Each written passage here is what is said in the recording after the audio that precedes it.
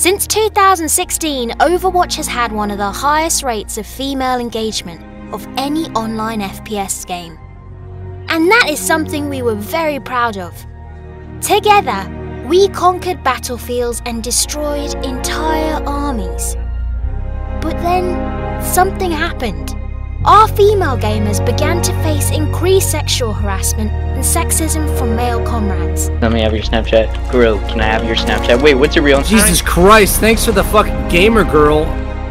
As women began to report these toxic players, our moderators stepped up their game to process all reports as fast as possible. But we faced a hurdle all games deal with. Vocal harassment is very hard to verify.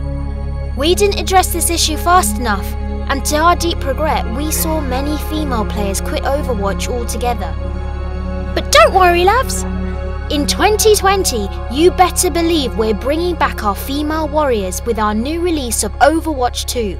Overwatch 2 introduces Tag of Shame. When a player vocally harasses another player, our AI, a combination of voice recognition and gameplay monitoring, will detect the malicious words instantly.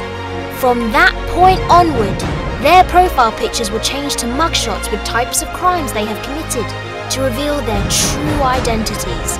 Additionally, the electronic anklets will be attached to the offender's characters, which allow the opposing teams to monitor these toxic players literally everywhere at any time. From Hollywood to Nepal, with one solution we discourage anyone from behaving like a dick on our platform and also create a safer environment for all players. Cheers, love! The cavalry's here!